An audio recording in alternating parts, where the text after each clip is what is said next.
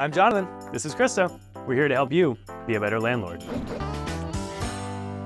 All right, Krista, we have previously done an episode on midterm rentals, what they are, why you should consider them, the pros and cons. So if you're interested, please check that video out. But today we're talking about furnishing those midterm rentals. Uh, I guess let's start with what is a midterm rental? Sure. So a midterm rental really refers to the lease length. Uh, in this category, it's going to be anything that falls between over a month and under a year. So, not an entire long term lease, not a short term lease, but instead a midterm rental. A midterm rental. Yeah, that makes sense. That makes sense. And why do we need to furnish these? So it's not strictly required, but we really want to look at who comes in as tenants to these kinds of rentals.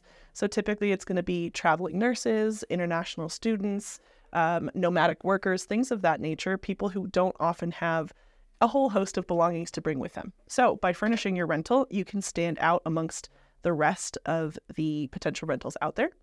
Also, there are specific marketing sites for furnished midterm rentals for people like traveling nurses, where they either get the actual hospital to pay for it or otherwise just only show them options that align with what they're seeking.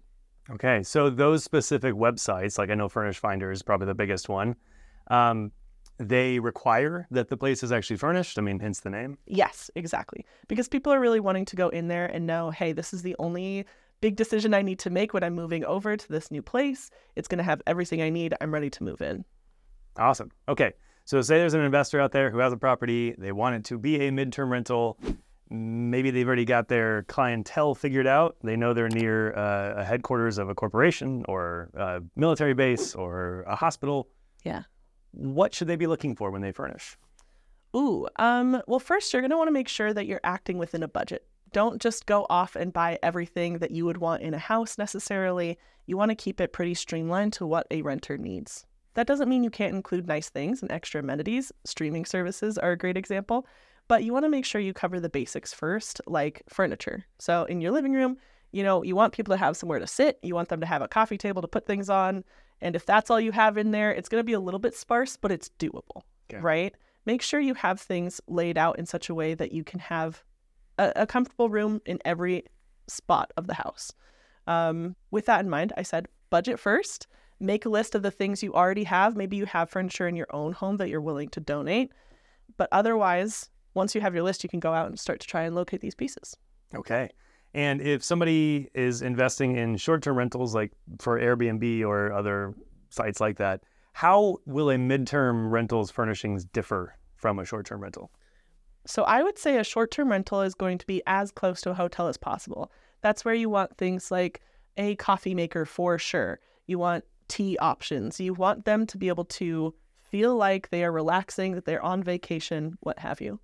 That's not exactly the vibe of a midterm rental. It should still feel nice, but you want it to feel more home like, cozy, comfortable, um, everything that you would expect to be wrapped up in those terms. So you don't have to go the extra mile and say, oh, here's a list of all the places that you can get dinner, and here is everything you need to know about the subway system, XYZ. That's nice to have in both, but it's way more dire in a short term rental where people are using it as probably like a vacation spot versus a midterm where they're intending to live for a little chunk of time and then move on.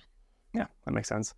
Okay, so they've got their budget, they're ready to go shopping. Uh, where should they start looking for furnishings? Sure. So if you are, you know, feeling very cost effective, I'd say go to the people you know first. Let them know that you're trying to furnish this rental. If you have specific asks, ask.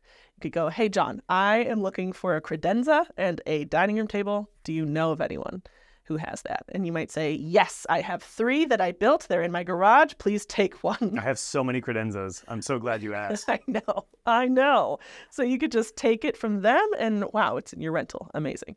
You know, make sure when you're whether you're doing that or if you're trying to find pieces by driving around, seeing what people are laying out for trash day, just make sure you clean it up and that there are no signs of any kind of pests or creatures before you bring it into your actual rental. Yeah, always a good tip. I think so. So, what if I'm going for a really high end midterm rental? Ooh.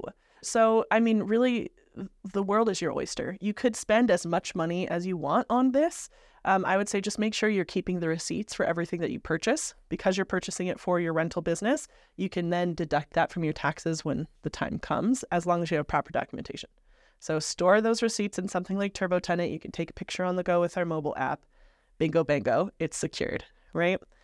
But beyond just the strategy behind it, I would say don't poo poo things like thrift stores. Even if you're looking to furnish a high end rental, you never know what you're going to find in there. Uh, if you're someone who really likes to DIY it, you might find a piece that you can then refinish, refurbish, and make it look exactly as you want it to. Um, but you need the good bones first, and thrift stores have good bones, as does Facebook Marketplace. So just be mindful. You can also go and buy it right out, you know, if you want to go to IKEA or somewhere similar, you know, real high end stuff. just buy it and then assemble. Do it. Again, keep your receipts, write it off later, but you can really create whatever kind of aesthetic that you want for your midterm rental. So, what are some things that people forget when they're trying to furnish their midterm rental?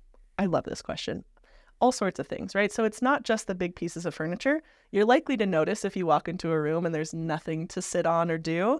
But the things that people forget about are the things that go in cabinets. So plates, bowls, forks, knives, spoons, paper towels, oven mitts, for example, things that you need to use when you're actively doing something in the rental can very easily be overlooked because you're not thinking about what you're doing in the rental. So, what you might want to do to combat that, if you have a friend or if you just want to do it yourself, is go stay there for a night or a couple nights and see what you're missing. You know, if you go to brush your teeth and you're like, oh, there's nowhere for me to put my toothbrush except on top of the toilet, you know, maybe that's a sign to buy a little toothbrush holder. Just make a list, check it twice, and then fill up your rental with the things that you're missing. People will feel more comfortable. And if you've taken that step, you know that you've actually sat there, you've thought about it. They're going to be all the more ready to stay and come back if they know that you're providing everything that they need. All right. Well, I feel a lot better about furnishing my midterm rental. If you out there have any more tips you'd like to add, please put them in the comments below. Don't forget to subscribe.